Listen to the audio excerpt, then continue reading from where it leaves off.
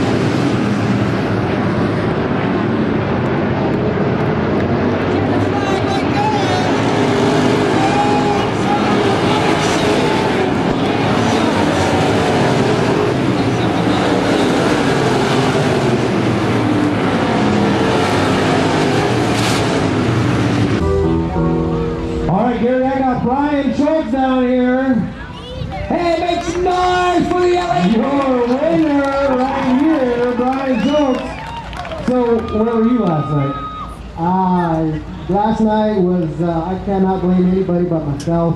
Um, I uh, made some changes to the car throughout the week, and it came down to me not tightening up a bolt correctly, and uh, the uh, suspension parts come apart.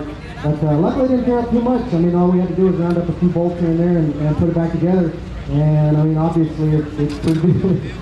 Yeah, I mean, you dropped the drive line way early in the race. That was what, like lap four or five, somewhere right in there, right? Yeah, I started ninth and I was making moves. Car felt great as usual, and uh, then all of a sudden it, it didn't.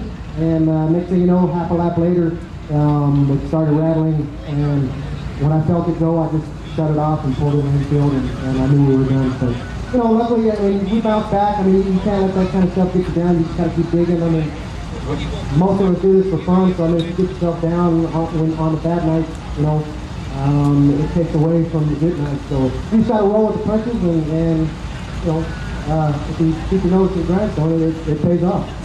Absolutely. So Cody Graham took over the lead last night because of the run that you had. Uh, so he had a 10 point lead. But now tonight, with you taking the win, you're back up on top, 10 points. I know you don't count them. You've told me that a few times now. Who cares? He's going to keep on running it. But who, who would you like to thank tonight? Who, who helped you out? Um, as, as usual, my, my crew chief, Brian Zawinka, uh, my setup guy, uh, Justin Stevens. Um, I, I picked up a, a new sponsor recently, Evans uh, Custom Concrete out of uh, Yuma. Those are great guys.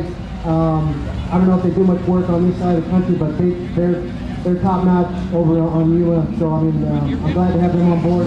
And my regular sponsors, Lingo Trucking, um, Canal Gypsum, um, Big O Tires, uh, Racing out of Tucson, um, Pristine Cleaners, they do my fire suits, uh, and uh, King Dino, um, he's the one that I bought this motor from, and he, you know, got it, got to run in a top-notch form.